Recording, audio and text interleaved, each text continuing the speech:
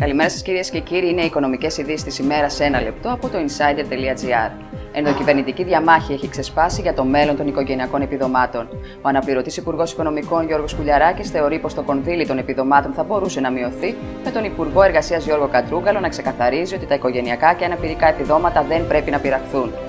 Το ελληνικό πακέτο διάσωσης είναι δραματικό, άνευ προηγουμένου και απέχει μακράν από το να σταθεροποιήσει τη ζώνη του ευρώ. Αποκαλύψεις για την ελληνική κρίση σε email της Χίλαρη Κλίντον που δόθηκε χθες στη δημοσιότητα από το FBI. Νέες απόλυσει εισοδήματος περιμένουν από το νέο έτος 565.000 δημόσιοι υπάλληλοι, οι οποίοι θα δουν το μισθό τους να μειώνεται καθώς αλλάζει ο τρόπος υπολογισμού των εισφορών προς το δημόσιο. Πτωτικά κινείται η αγοράς στο σημερινό άνοιγμα του Χρηματιστηρίου Αθηνών με τον γενικό δείκτη τιμών να διαμορφώνεται στι 576,47 μονάδες, σημειώνοντας πτώση 0,34%.